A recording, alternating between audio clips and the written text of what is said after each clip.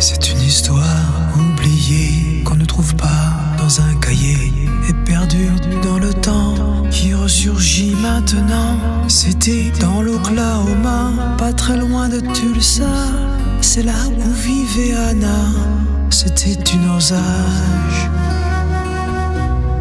Tribu indienne des rivières et des plaines, une osage.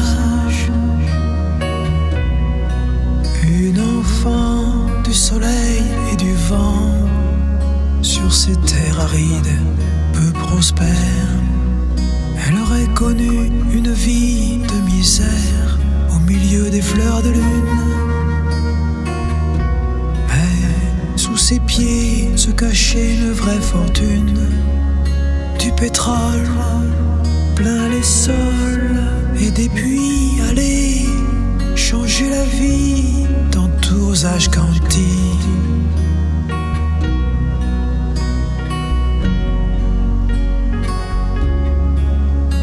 Les Osages avaient tout pour être heureux, mais leur pétrole faisait aussi beaucoup d'envieux.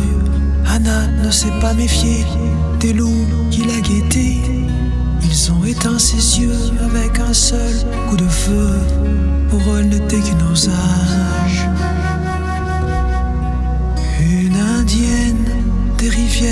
Des. Une Osage.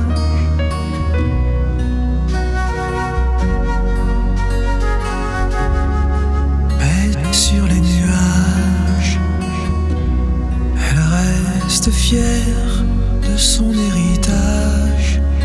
Une Osage. Une enfant du soleil et du vent. Une Osage. Un